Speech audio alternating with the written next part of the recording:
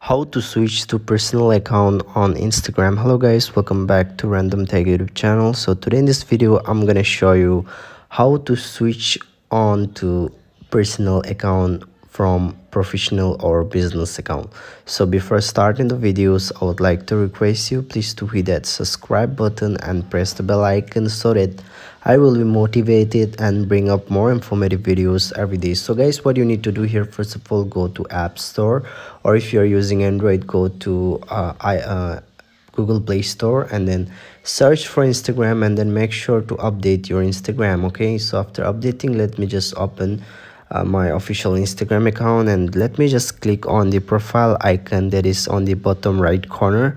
And here you can see this is my uh, this is not a personal account. This is a professional account. So to switch into personal account what you need to do you have to click on the three days on the top right corner and then here this type of interface will be pop up. So you just need to click on settings. And here you can see this type of interface will be pop up. So what you need to do here you have to click on account. Scroll down here. And here you can see switch account type and add new professional account. So you just need to click on switch account type okay simply tap here and then here you can see switch to personal account or switch to business account. So if you want to switch to personal account simply tap here.